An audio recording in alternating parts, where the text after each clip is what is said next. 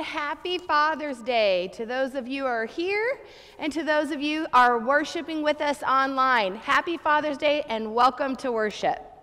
I have a few announcements. First, I want to say thank you so much to all who volunteered for an amazing, awesome VBS. It was wonderful. So, yes, thank you so much. We had, I believe, 11 kiddos right? Give their hearts to the Lord. So praise the Lord. So thank you so much. And for those who fed our volunteers, we thank you for that as well. It was wonderful.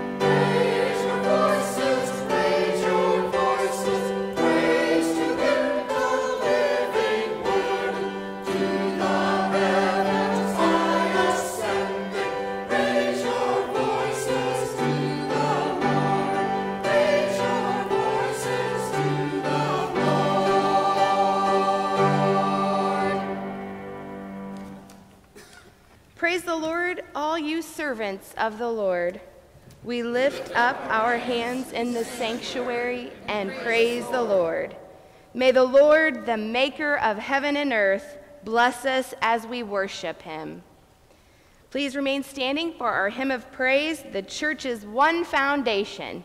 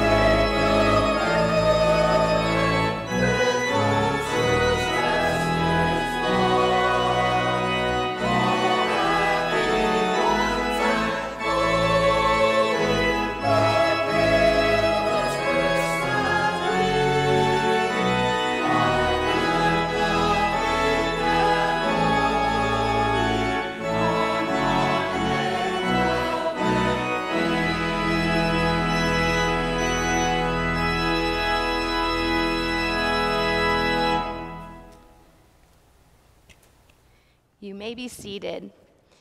It's time in our service where we gather together for a congregational prayer. If you are able and you would like, we would love to have you join us here at the altar to give our prayers to the Lord.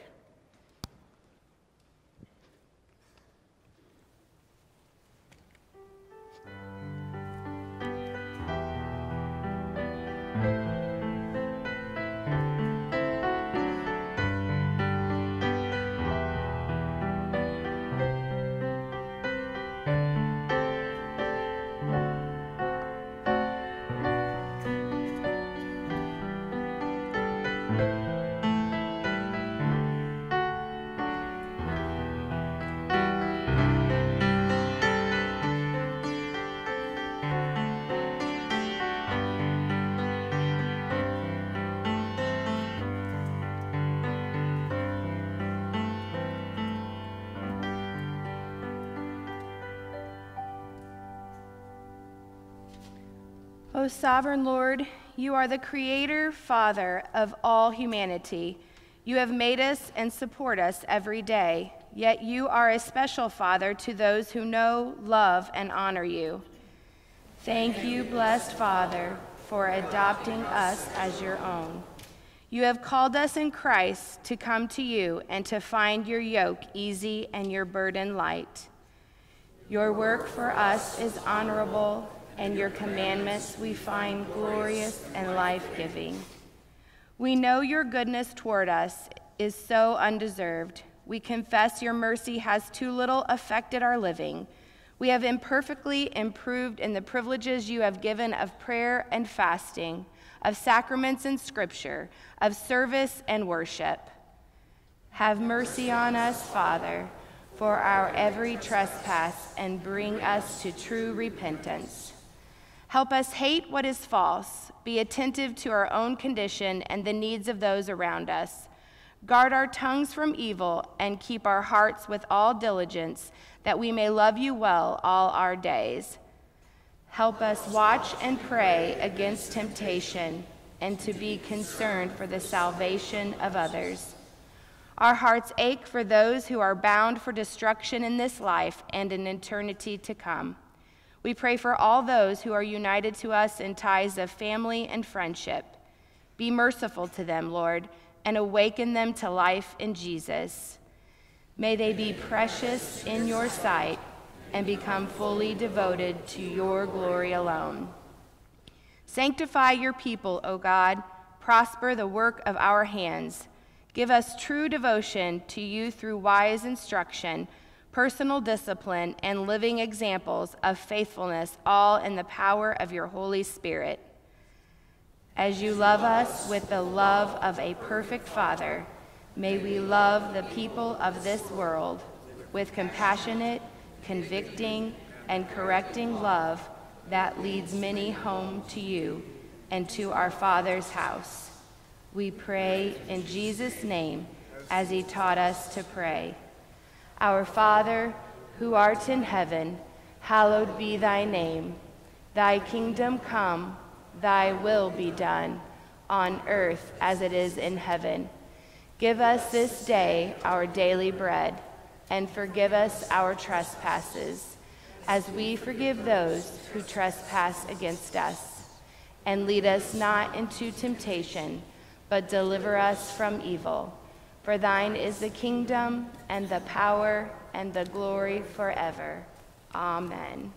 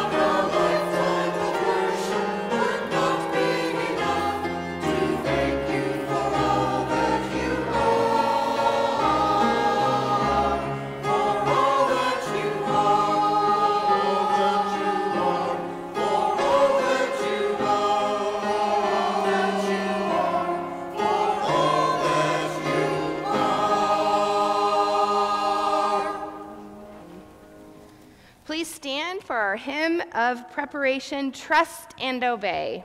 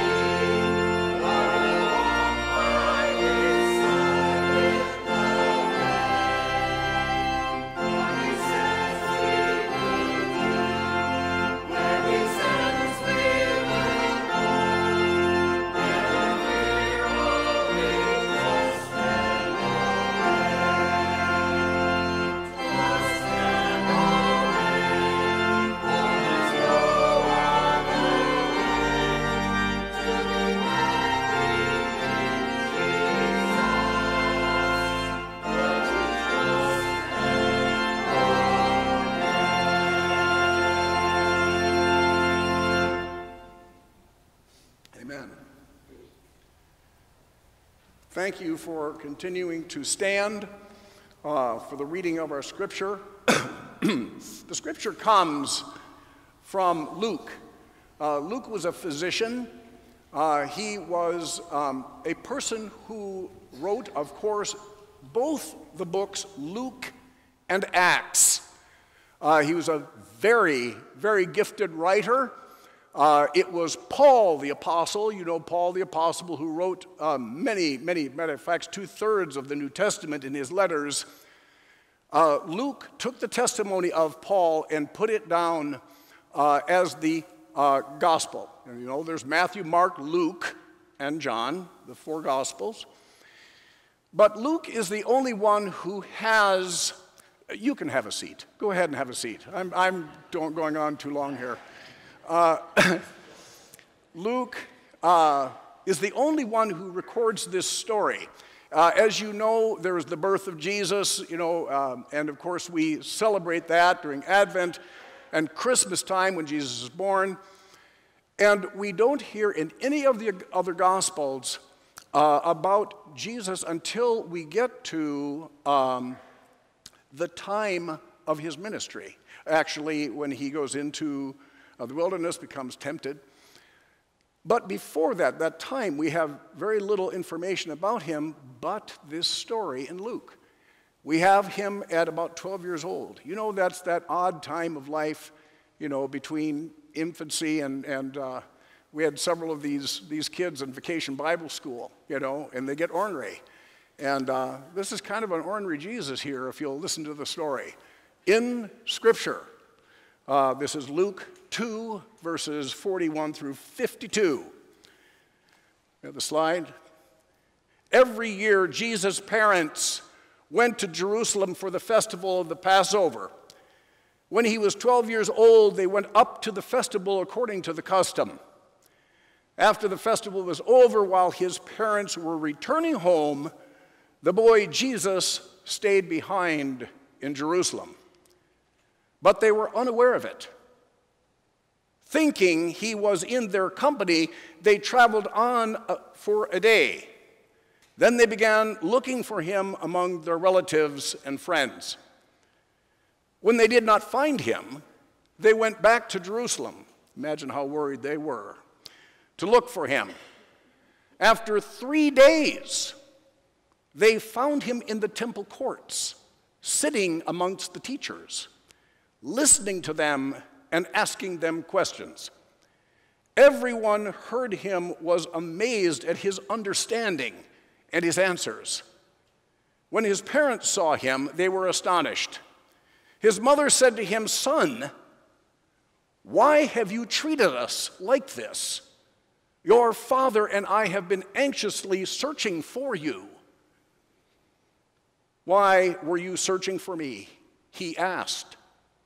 Didn't you know I had to be in my father's house?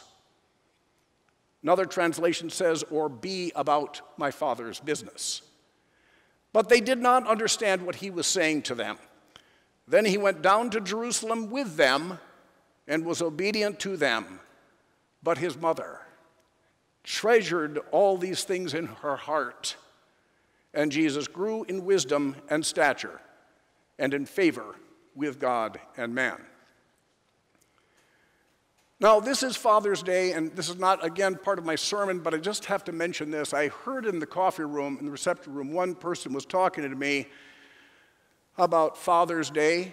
And by the way, you might notice that my sermon title is Our Father's Day having to do with God, our Father's Day, but was mentioning that in some churches you don't hear about fathers, you know, on Father's Day or mothers on Mother's Day.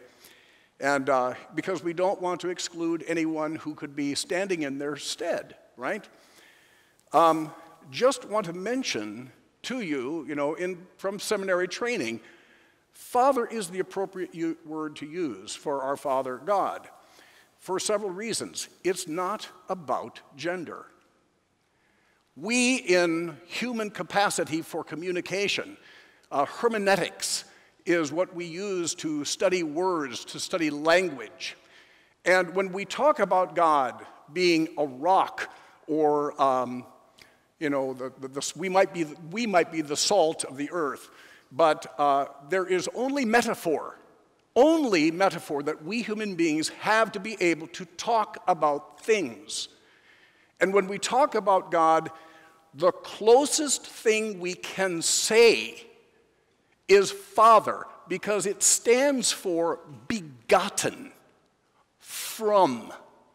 Jesus is from God, okay? Begotten of, not made, not created from God. And the word that we have for that, the most appropriate word for that, is father. He had a mother, an earthly mother, that was Mary. God was the father, it was from him. He was begotten. Jesus was begotten, not made, not a creature of the earth, fully God, fully man. So, and Jesus also referred to him as Father in many prayers. Our Father, Jesus says, right? When he prays to him in the garden, he says, Abba, Father. That's daddy, okay, when he talks to God. When he prays to him, he calls him father. So it is appropriate for us to use the word father. Now, the last thing I want to say is uh, about Vacation Bible School. Uh, I had a great time there, had games. I was a helper. Uh, Carol Reed was the leader, and I was there to help. But the kids got to know me as, uh, as uh, liking jokes. And one of the 10 year olds came up to me one time and uh, one, one evening, three days into this, and said, I have a joke for you. And I said, What is your joke? And he said, um, What do you call a father walking up the stairs? And I said, I don't know. And he said, Stepdaddy. All right? I said, That is a terrific joke. You know, that is a terrific joke. When we uplift fathers on Father's Day, we are uplifting all that take care of children. You know, all the mentors. There were mentors in Vacation Bible School. There are some fathers we know in society that are not good fathers, and sometimes it is difficult for people to come to our Father God because of the Father, the only Father that they know is not a good one. So when we uplift fathers on Father's Day, God had a plan, you know, that we have fathers and mothers to take care of children.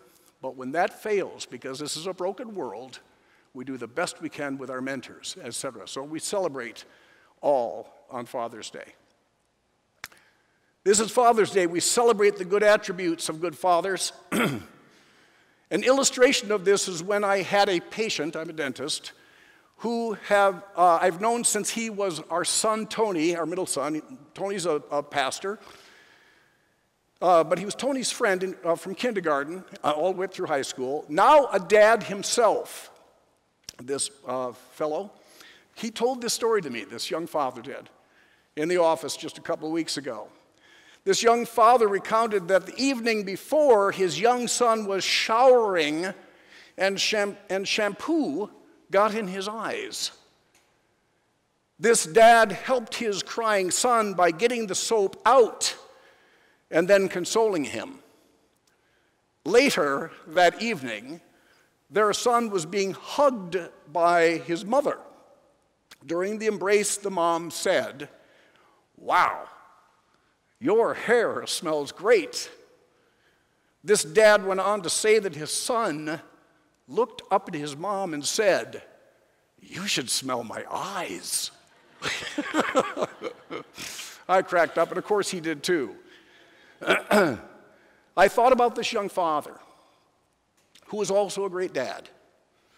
I'd known him when he was a young Cub Scout in Julie and my den, going to high school, becoming a firefighter here in this community, and now as a young father. He was there when his son got soap in his eyes and was crying, just like his wife would do, of course. This dad, who was at the time monitoring his son in the shower, was there to help his son in distress. He was there to get soap out of his eyes, to comfort him, let him know that he was going to be okay. And I know he will be there for every other trial, great and small, throughout his young son's life, and continue to be there throughout his entire life. A good dad, a good father. Could I have the next slide? Jesus says, Which of you fathers, if your son asks for a fish, will give him a snake instead? By the way, he was talking to the disciples. Or if he asks for an egg, will give him a scorpion. If you then, though you are evil, know how to give good gifts to your children, how much more will your Father in heaven give the Holy Spirit to those who ask him? That is Luke 11, verses 11 through 13. Have the next slide. In Luke 11, one thing that really popped out at me as I was reading that, because this is about fathers, in Luke 11, 13, uh, verse 13, it says, If you then, though you are evil, know how to give good gifts to your children, if the gospel writers had been editors and public relations personnel, they may have just edited out those words, though you are evil. So that the verse would read this If you then know how to give good gifts to your children, how much more will your Father in heaven give the Holy Spirit to those who ask him? This, though you are evil phrase, is easy to ignore, just to gloss over it.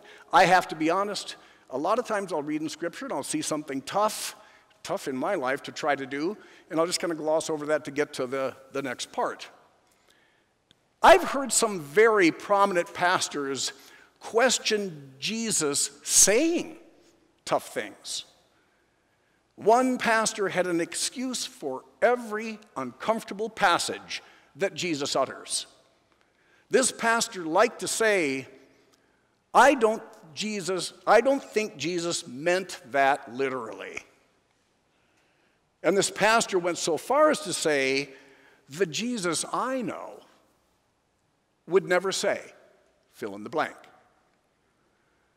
What I love about the Bible is that it is honest and it is truthful.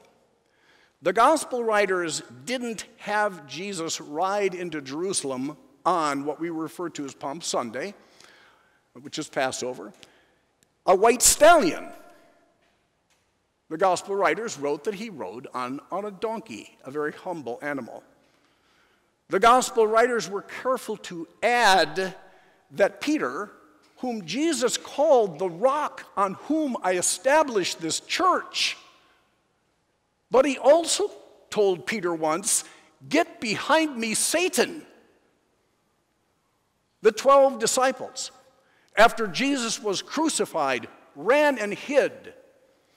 This is an honest accounting of what the gospel writers have put down, rather than just saying they stood firm in, in every belief about Jesus, even up to the cross. No, the gospel writers wrote what happened. They ran and hid.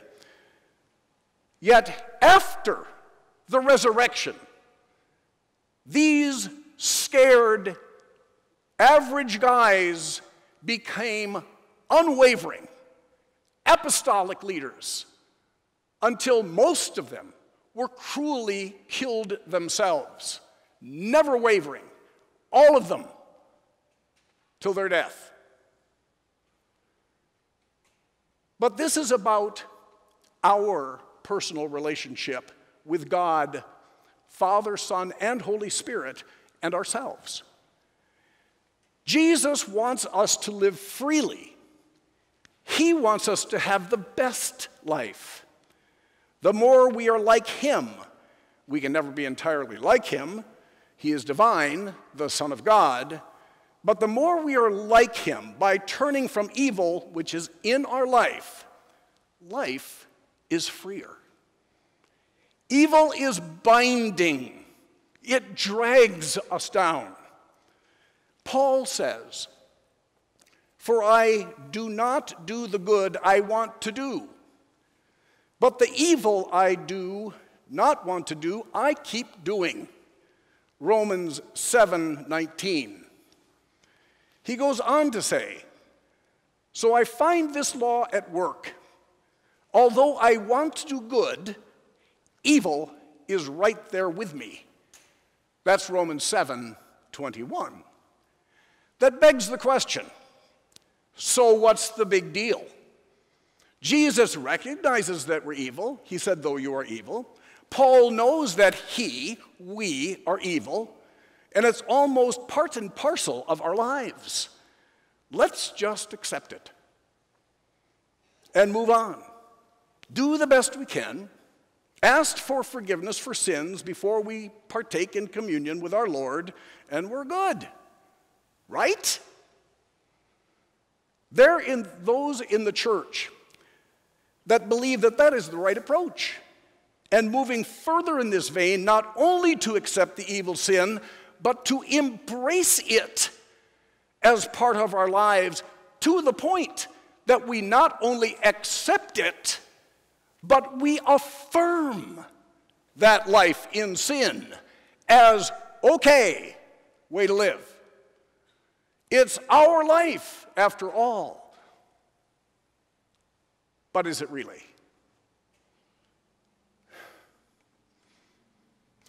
Many people in this congregation know that I am a recovering alcoholic.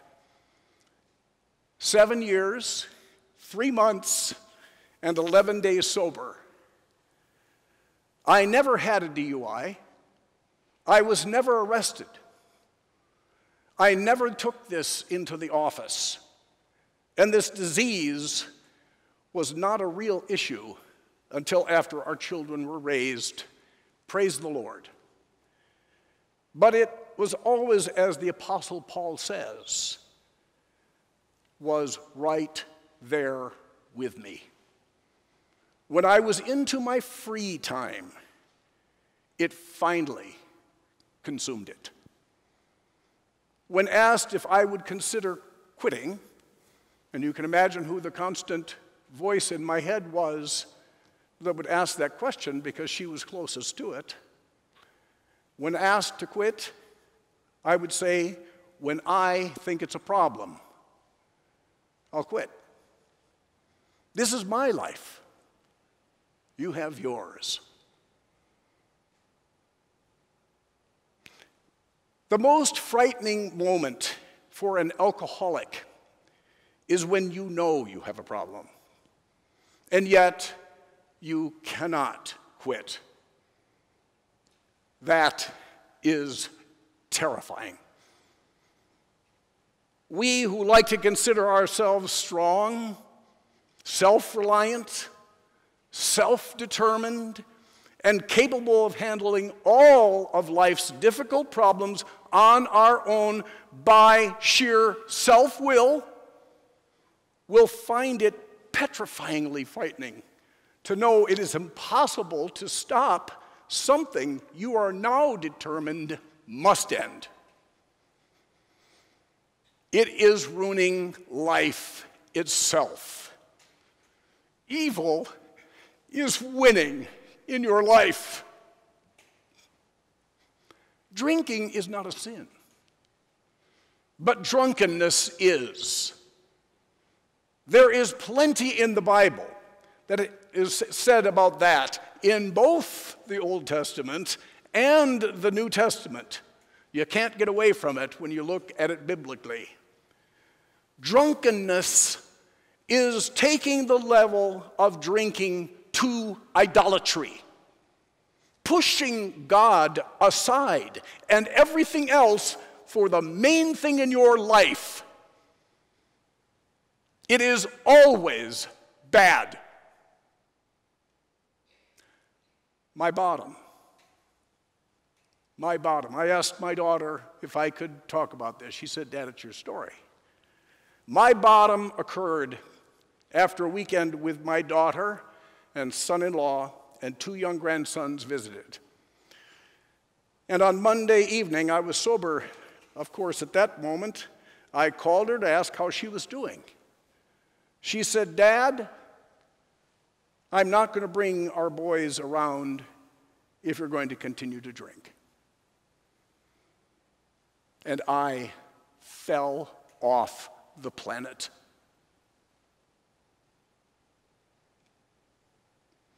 I told my wife what Debbie said, and she said two words Oh no. How many years had I been trying to quit? Going through white knuckling, maybe as long as six months, never worked.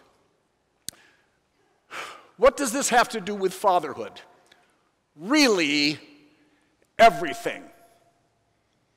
Sin in Greek is amartia. As in archery, it's missing the mark, aiming, if you will, in the wrong direction. And sin is not from God. There are those who love to say, heck, I've heard this in, in AA rooms, heck, I thought of regarding my sin, God made me this way, i.e., with this sinful nature. And the next slide. God is not the author of sin. In James 1:13 it states, let no one say when he is tempted, I am being tempted by God. God cannot be tempted with evil, and he himself tempts no one. Slide number 10. And sin does not originate in God's nature or being. In 1 John 1 5, it said, God is light, and in him is no darkness at all. So, if God is not the author of sin, nor the origin of sin, and yet, like the Apostle Paul, who said, But the evil I do, I do not want to do, this I keep on doing. As a father of a daughter who says, Dad, if you're going to be this way, I'm not going to bring those boys, your grandsons, around. How does someone become free from sin when it's inescapable? There is one only powerful enough to defeat sin, and that is God. Father, Son, and Holy Spirit, period. There is one adage that I've heard, and I believe this to be true. I cannot tell you what to do, but I can tell you what worked for me. Forever it would seem I would pray a prayer like this. Pardon me. God, take this obsession away from me. The very next day, the obsession was there, and my other big sin, pride, I would think, well, God had his chance. He didn't take it away. So I guess I can go back to my habit. Wow! Right? Yeah. Now, however, being faced flat on my back, I had fought and fought and now had lost the battle when you're down so low that the only way is up from that spot, I had only one prayer left, and that was this God, I don't know what to do anymore. Please, please tell me what I need to do. Then, as I, as I like to say, I took the cotton out of my ears and I stuffed it in my mouth so I could hear. I got a very clear message to go to AA, Alcoholics Anonymous. I had heard about it, I knew nothing about it. Briefly, the 12 steps, you hear about the 12 steps, lead you to God and are replete with language about God. We end every meeting, by the way, with the Lord's Prayer. They don't talk about Christianity. They say our higher, higher power, whatever you call higher power. Anyone who stays around the table sober, long term, always come around to God, don't they? Yes, always say, my higher power, which I choose to call God. But it is a, it's a Christian program. I uh, pardon me for Alcoholics Anonymous members out there in the television audience, but it is. Uh, we're going to write a book about that someday. And, um, but we end with our, the Lord's Prayer. What, is, how, what does the Lord's Prayer start with? Our Father. It's a Christian program, really. So, Our Father, that's the, uh, the title of the sermon. The 12 step lead you to God and replete with language about God. Having personally come to Jesus earlier in my life, in my 40s, this was no problem. Now I was about the business of doing the work and following the program toward sobriety. It is, as they say, a very simple program. Don't drink. Um, but you have to do the work, right? Let's go back to what Jesus said. Slide 11. Yeah. Concerning fathers. He said about loving fathers, we're about done. Which of you fathers, if you asks for a fish, will give him a snake instead? Or if he asks for an egg, we'll give him a scorpion. You then, though you are evil, know how to give good gifts to your children, how much more will your Father in heaven give the Holy Spirit to those who ask him? Brothers and sisters, fathers and mothers, daddies and mommies, sons and daughters, Jesus forgives every sin for those who earnestly repent. And he redeems us from the guilt of sin.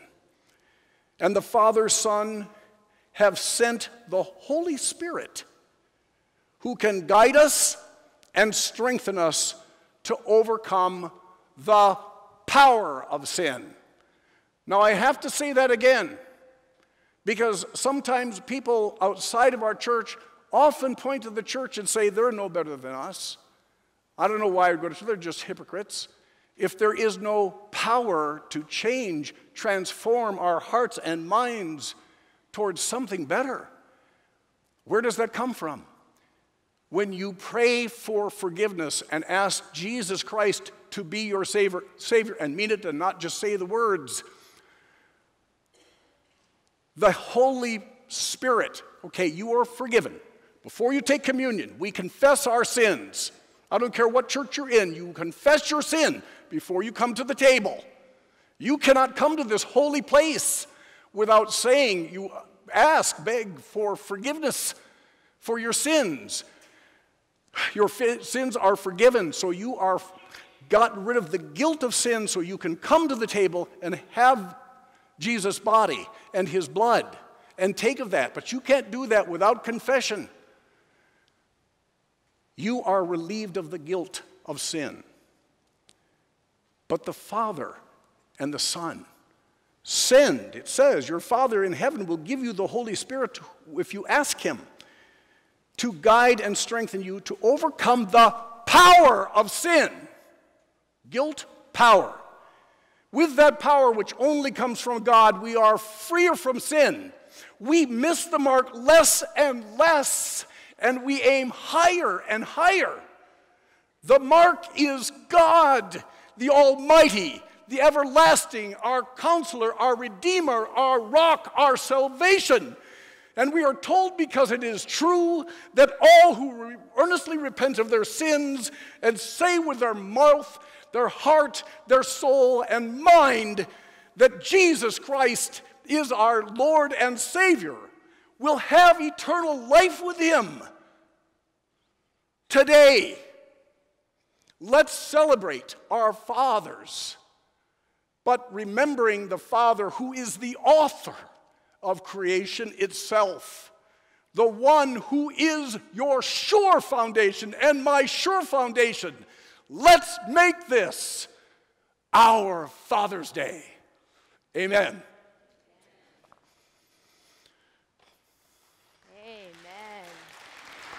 Amen.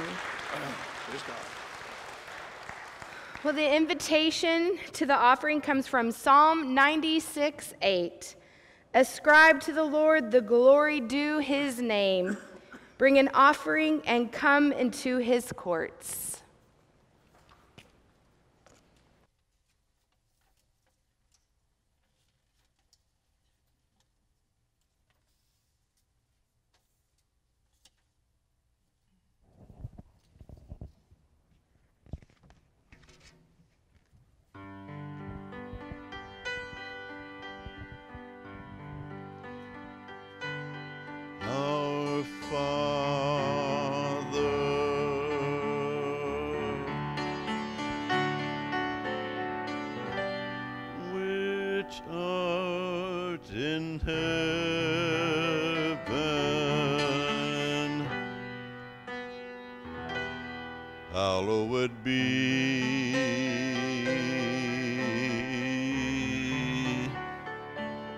thy name.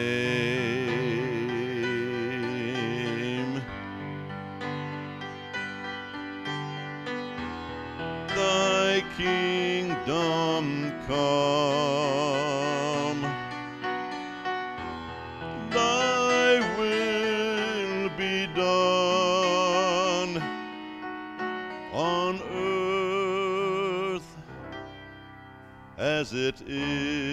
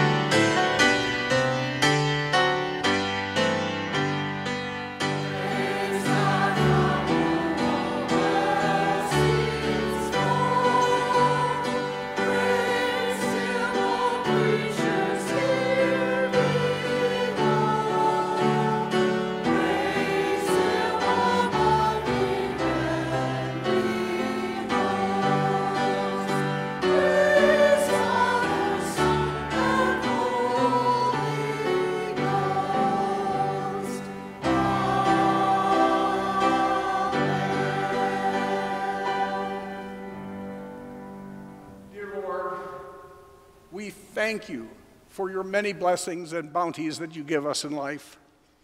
We offer up to you but a portion of that, dear Lord, for the service to your kingdom. We thank you, Lord. In Jesus' name, amen. Now we have a final hymn, correct? It's a final hymn. Before we sing our final hymn, which is on page 397, I Need Thee Every Hour, we've noticed that there are some guests that are in uh, the congregation today. Welcome uh, to you. We just wanted to mention to you don't leave without stopping by. There is a, vis- a uh, visitors center, a welcoming center, to give you some information and meet with uh, someone who is in our church. So please stop by there and welcome, welcome. It's great to have you. Let's sing our final uh, hymn, shall we?